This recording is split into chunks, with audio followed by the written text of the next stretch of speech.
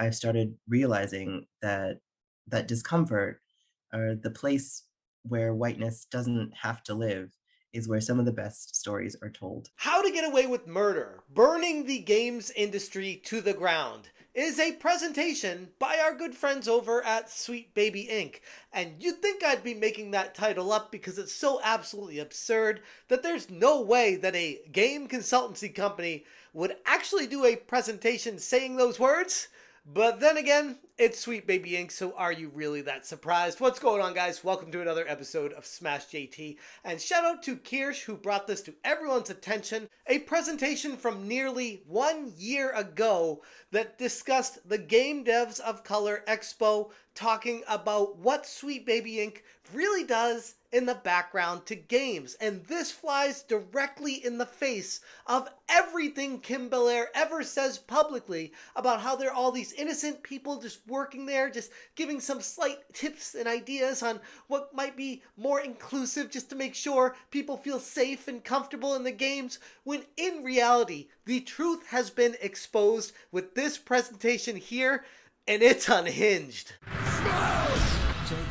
Hit that subscribe, give me a like, and check out smashjt.com for the full exhaustive article breaking down every step of this near half hour long presentation trying to corrupt and destroy the very video game industry that we all know and love. How to Get Away with Murder, Subverting Genre Expectations. My name is Camerin Wild, and I'm a narrative designer uh, and sensitivity reader with a company called Sweet Baby Inc., based out of so called Montreal. These are some of my um, co-workers. In a beyond shocking admission during the Game Devs of Color Expo, a crazed Sweet Baby Inc. employee by the name of Camerin Wild, and what an apt last name that is, who identifies as a non-binary, shocker, revealed a controversial and troubling agenda to quote-unquote burn the games industry to the ground, among many other insane thoughts. The video was titled How to Get Away with Murder Subverting Genre Expectations. And first off, what? Uh, we specialize in narrative development, which means working with teams on everything from script writing to narrative direction, casting, uh, to cultural consultation.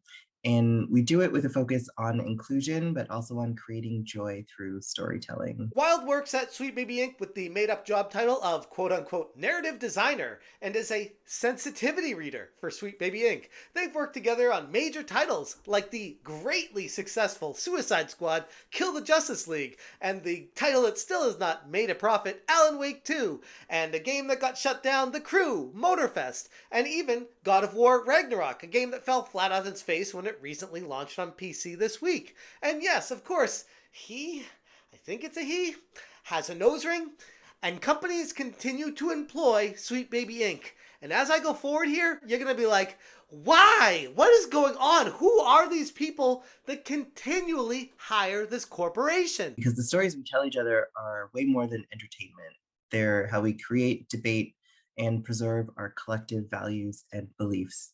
And we can and should make better, more expansive, more representational content. In the presentation, Wild made some bold statements about the power of storytelling, claiming that the stories told in video games serve not just as entertainment, but as a means to push debate and reshape collective values. Now, as you all know, Many gamers play video games for, I know it's crazy these days to say it, but an escape from reality and just to blow off some steam and enjoy something that takes you away from reality. Not everything has to be agenda driven narratives to push propaganda. In fact, it should never be that when it comes to video games. That's why we at Sweet Baby do what we do.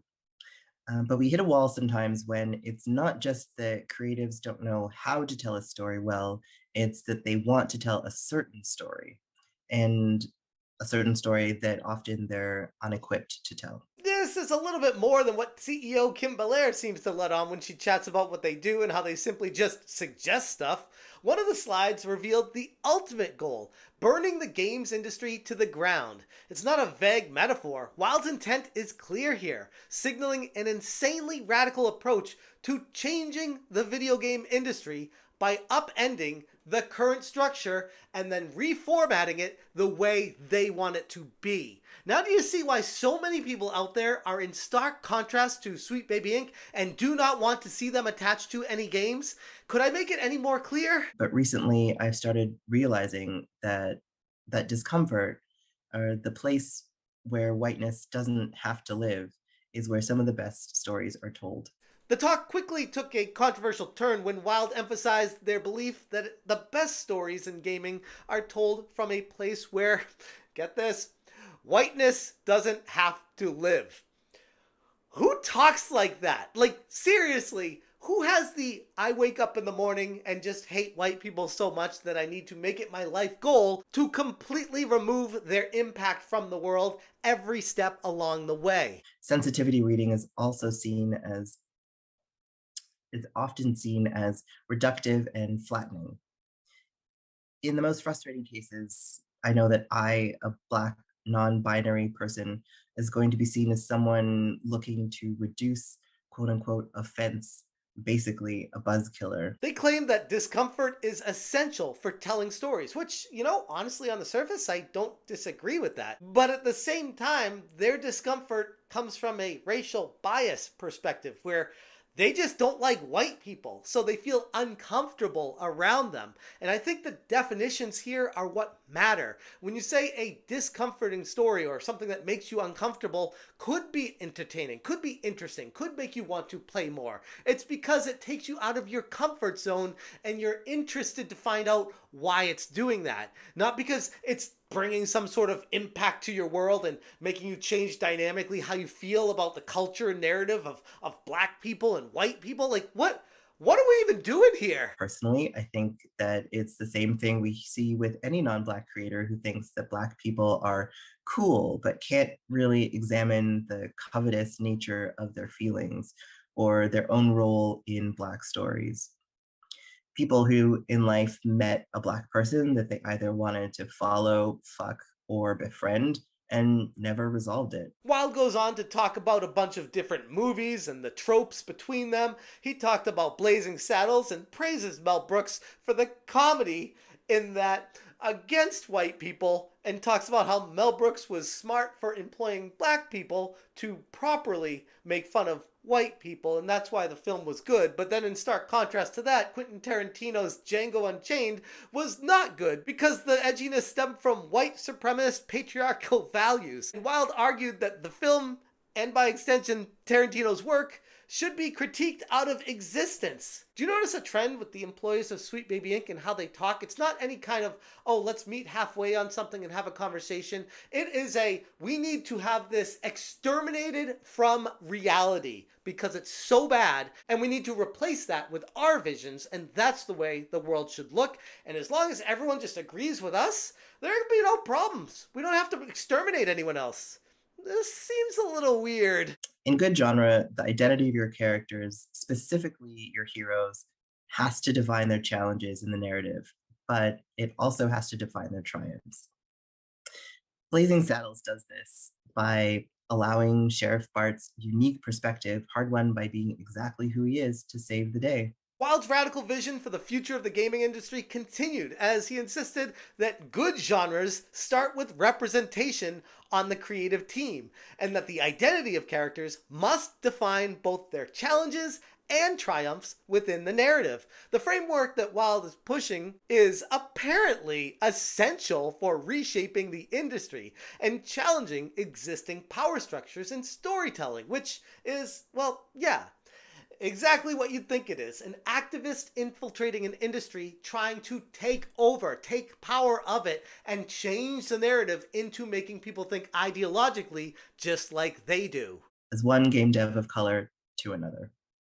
The reality is that almost all of us exist and are working on problematic things with problematic people. But I genuinely can't get over that someone from Sweet Baby Inc. actually made a presentation about burning the games industry to the ground not one year ago today. And that kind of approach should make everyone rethink how they look at Sweet Baby Inc. Even if people might think that some YouTubers like myself are going over the top about just how bad they really are for the industry. When you see stuff like this and hear it from their own lips talking about how they want to completely revolutionize gaming, take it over, destroy what was there before, and replace it with their own values, you gotta take a step back and be like, I think you guys are going a little too far here. It's a little sketch.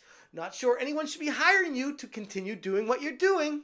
You can tell just in the text, uh, but it's also a fact, that Brooks worked with Black writers to make sure the jokes came at the expense of whiteness and chipped away at an absurd social hierarchy. It's deliberately and unexpectedly maybe a narrative that contributes to the liberation of people like me. It isn't respectful. Uh, it's offensive. Yeah, but it offends the right people. Like it would be one thing if the games they worked on were wildly successful and rampantly selling copies everywhere, but no, the exact opposite has been happening, and studios have been closing. Real lives have been impacted negatively because of the influence from Sweet Baby Inc. They are destroying companies, they are ruining lives, all in the name of the message. And it should all be okay because we have an ultimate goal that we might lose some jobs along the way. Some people might get laid off, some companies might close, some crappy games might get put out there, but we don't care because we're Sweet Baby Inc. and we have a message to push and we will stop at nothing to get it out there. Anyways, I'm going to leave it there. If you guys want more information on this insane presentation, check out smashjt.com. I will link the full article and video in the description below. If you guys appreciate what I'm doing, hit that join button. Thank you so much for watching. And as always, you stay smashing. No more premeditation. It's time to do a murder. Smash, Smash.